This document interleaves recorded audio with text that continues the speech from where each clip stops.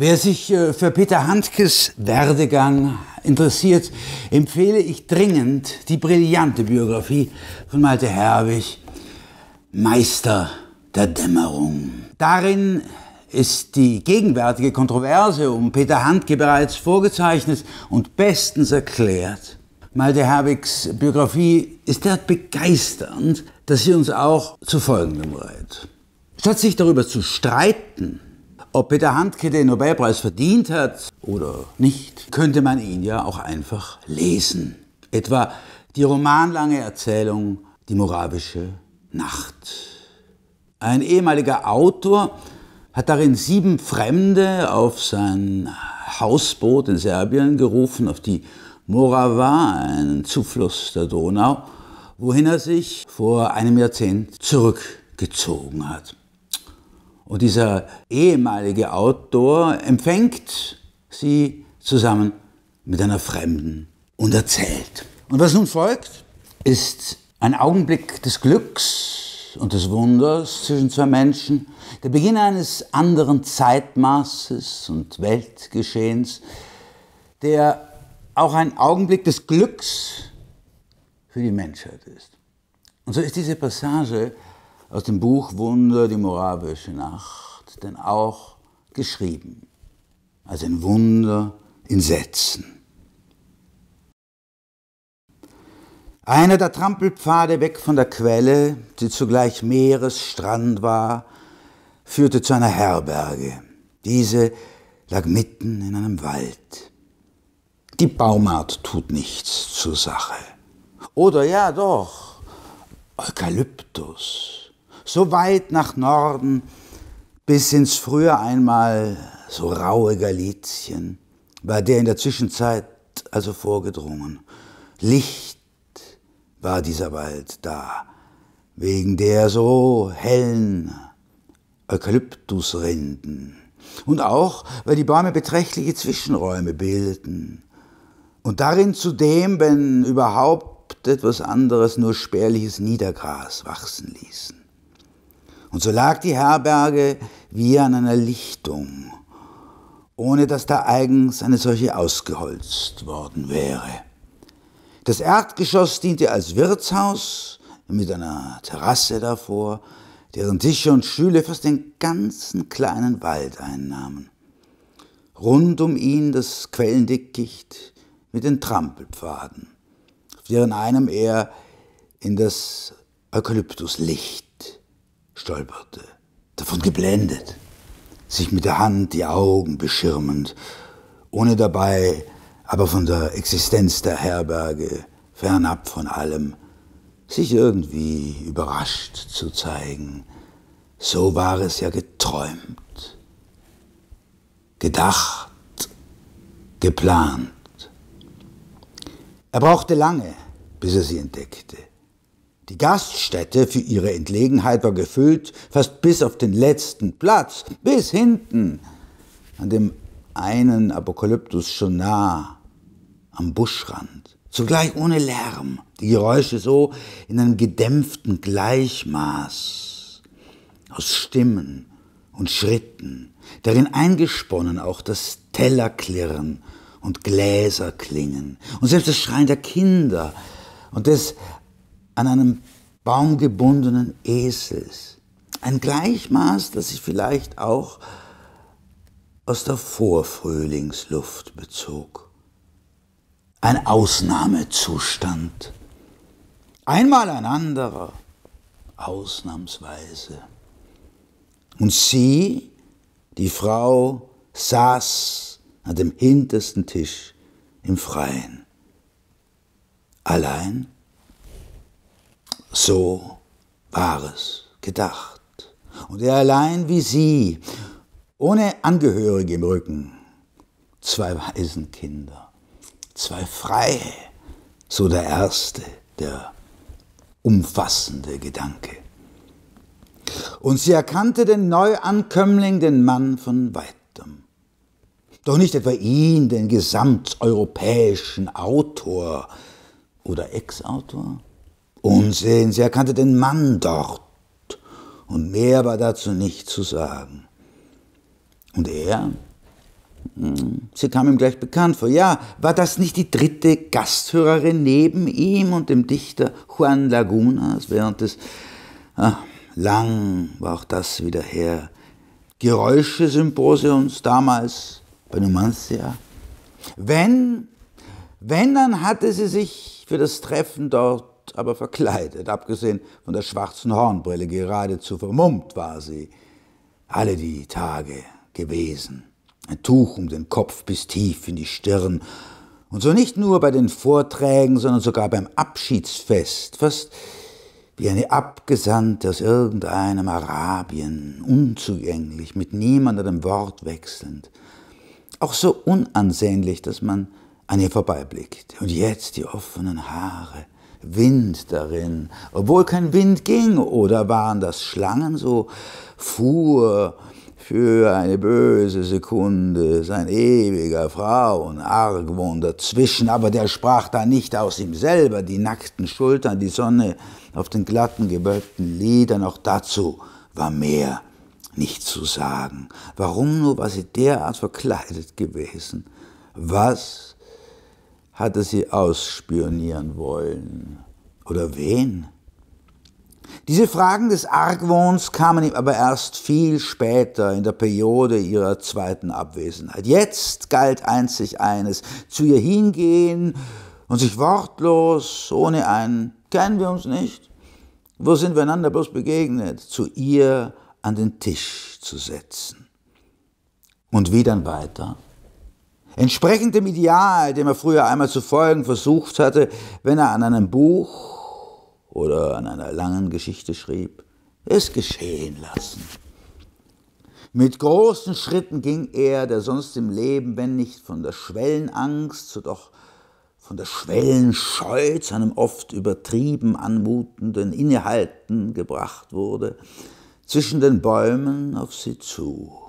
In Sorge, er könnte sie versäumen, der Tisch wäre bei seiner Ankunft leer, ein anderer Traum, der dazwischen funkte in den, der ihn weiterhin so frech und verwegen ausschreiten ließ. Und später, in seinem Argwohn getrieben zu noch Schlimmerem, kam noch ein dritter Traum dazu. Sein Schutzengel, der ihn auf dem bisherigen Weg oft und oft vor dem Hinfallen und Sturz bewahrt hatte, bewahrte ihn da vor dem Zusammentreffen mit der Frau, indem er ihn unterwegs zu dem Tisch mit dem Schädel gegen einen Baum prallen und der Länge nach hinschlagen ließ, außerstande je wieder aufzustehen. Was geschah dann zwischen den beiden? War überhaupt etwas geschehen? So die Frage von uns anderen in jener moravischen Nacht, freilich nur insgeheim, still selbst, der eine Vorlaute unter uns. Die beiden, der Gastgeber und seine Fremde, machten keinerlei Andeutungen. Entweder hatten sie keine Worte dafür, oder es war kein Thema für sie, kein Erzählthema, gerade eine Ahnung gestatteten sie uns. Das einzige Anschauliche, das sie voneinander preisgaben, dass sie später in der Nacht gemeinsam zu Boden gefallen waren, vor Müdigkeit, vor Erschöpfung. Und schon indem ein jeder der zwei beim Reden für sich blieb und den anderen nie anschaute, stand jede Anspielung außer Frage. Es war aber etwas geschehen mit ihnen dort im Eukalyptuswald. Und das sprachen sie auch aus. Einmal er, einmal sie. Es begann für sie zwei da ein anderes Zeitmaß. Und dann setzte das andere Zeitmaß ein. Wo? Womit? Das andere Maß trat in Kraft mit dem Moment, dass sie Augen füreinander bekamen, gleichzeitig. Und mit dieser Gleichzeitigkeit wurde ihnen beiden der Auftakt gegeben für die Folgezeit.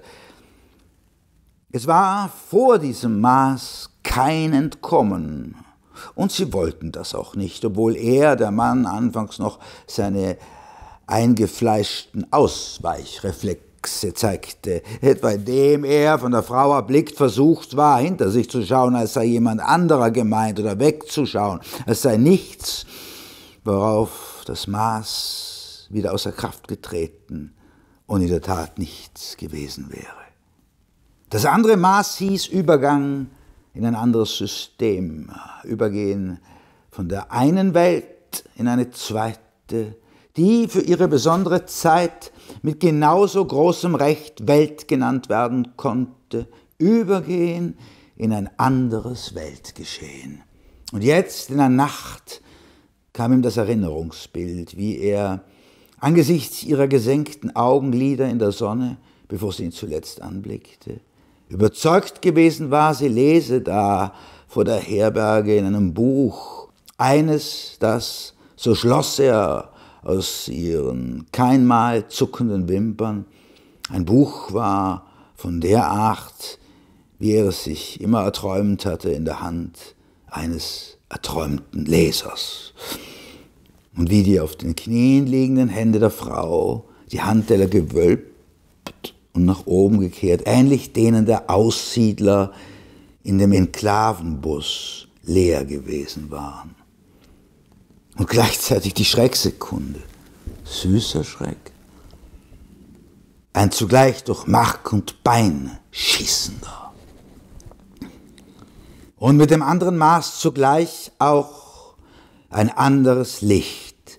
Und zwar kein etwa helleres, nein, ein entschieden dunkleres, ein düsteres, ein, eine Art Finsterlicht mitten am Tage, ein Nachteinbruch, das Sonnenlicht außer Kraft gesetzt von einer jähen, totalen Sonnenfinsternis, mitsamt dem dazugehörigen Eiswindstoß.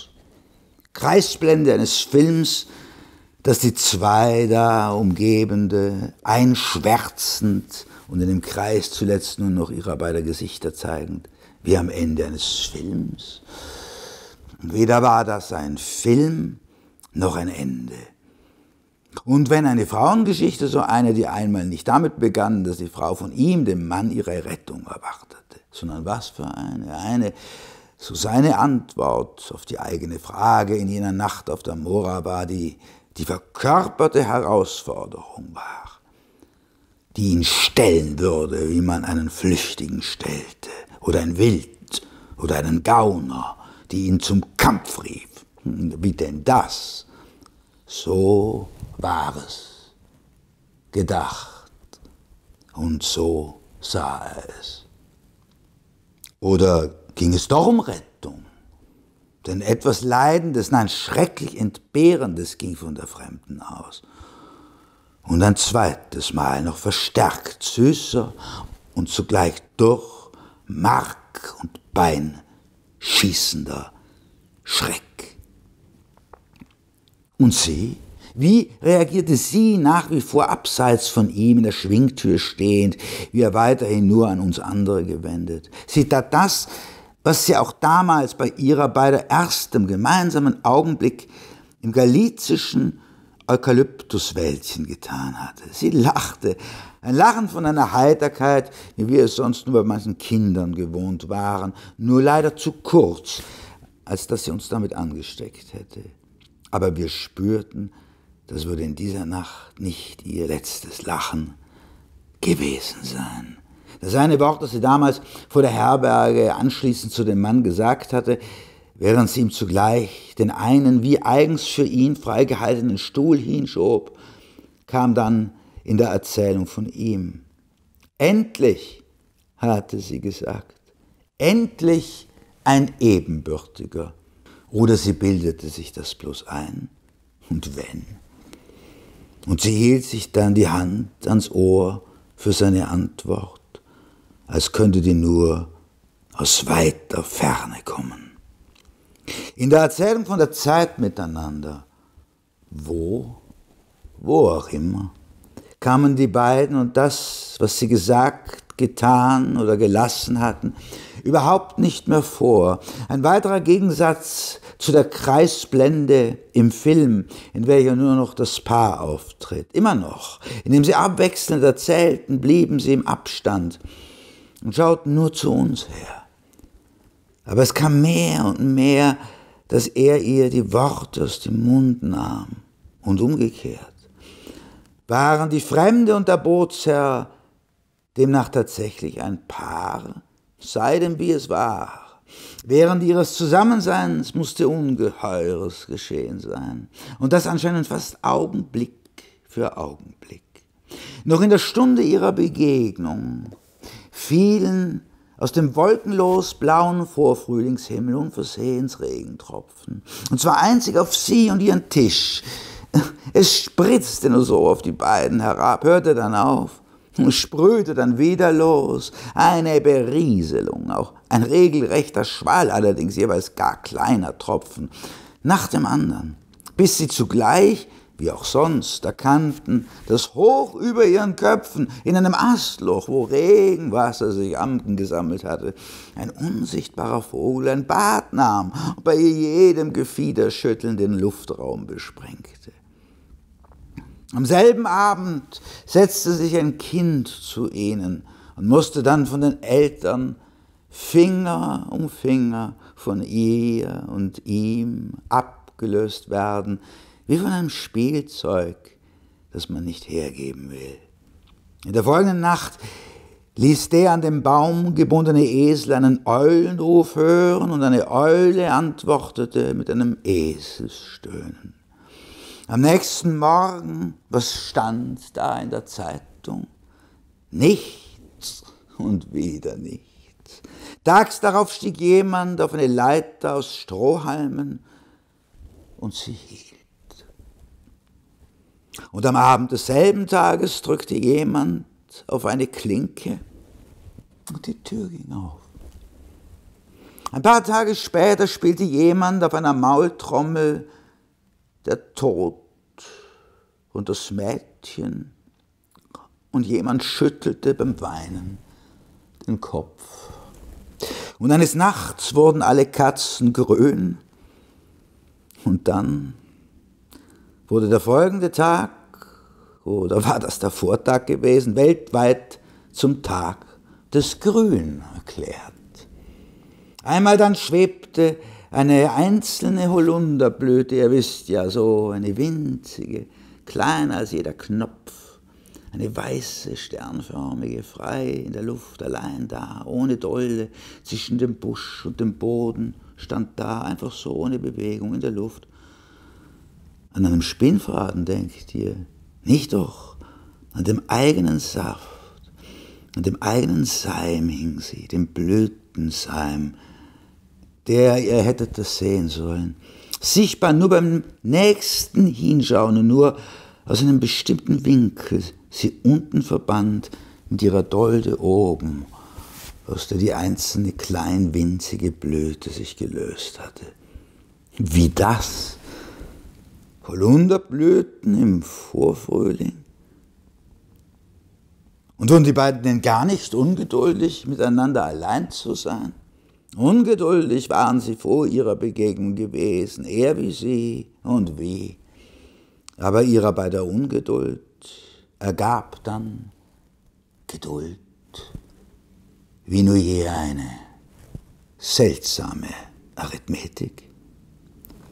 Während die zwei miteinander unterwegs waren, unterwegs auch an Ort und Stelle, fuhren die Züge und die Busse ausnahmsweise ohne Unfall durch den Kontinent, brach kein neuer Krieg aus, starben ihnen keine Angehörigen weg, und denen, die krank waren, ging es diese Zeit lang besser.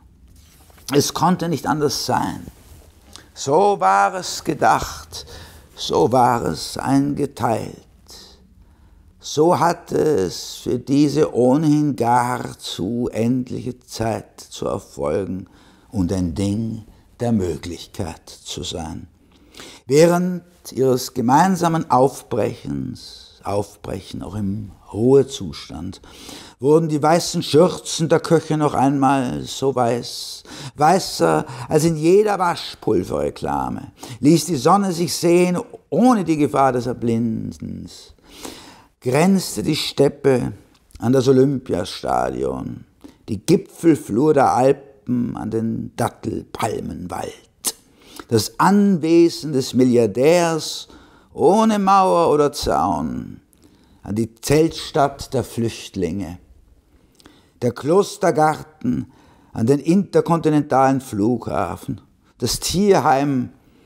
an das tibetanische Lächelzentrum, der Golfplatz an die Badlands, der Lärmkanal an das Schweigelabyrinth, der Bergwerksstollen an die Startklippe der Drachenflieger. War es keine Entfernung zwischen Atlas und Libanon und ein Katzensprung von St. Jakob im Rosental nach Santiago de Chile und kaum ein Gedankensprung von der Erde zur Venus, die an einem Abend rot funkelte wie der Mars. Und eines schönen Tages dann lief William Faulkners schwachsinniger Held hinter seiner geliebten Kuh her. Und dann ließ Madame Bovary ihr Taschenbuch fallen. Und da stand Joseph K. verirrt auf den Weg zum Bahnhof. Und dort stand der Mann, der den Zügen nachschaute. Dort gingen Bauer und Bindschädler im Abendlicht, das widerschien von den Kalkfelsen. Und eines weiteren schönen Tages dann blühte der Kirschgarten. Und dann wölbte sich die Brücke über die Drina, auch wenn der Fluss da gar nicht die Drina war. Und dann einmal bellte ein Hund. Und dann küssten sich zwei an ihrer Stelle. Und dann, oder vorher, nein, nein, zugleich fiel langsam ein Fahrrad um, während zugleich ein Ball aus dem Gebüsch rollte. Aus einer Frühlingswolke eine Sommerwolke wurde. Ein Ohrgehänge klingelte, ein Läufer grüßte, ein Schuhband geknüpft wurde, ein Bügeleisen knackte, eine Zeitung im Wasser auf Grund sank, eine Tanzfläche sich füllte und nirgends, nie, wo, ein Faust unterwegs auf der Pfingstschneise, geschweige denn ein Mephisto, ein Nero, eine Medea, Lady Macbeth oder sonst eine böse Zauberin. Und schon gar keine Spur von Ku Klux Klan, Genghis Khan, Carla von Bruck, Gringo Busch, Papa Benedetto, Josef Fischermann, Magdalena Ganzel, Bernhard Hinrich, Glückskraut, Ossim Weichsohn und all den anderen. Selbst der A. Hüttler war wie nie gewesen. Gott schützte die Lebenden. Und ihrerseits schützten die Lebenden oder die voneinander oder überhaupt Begeisterten. Wen? Ja, wen?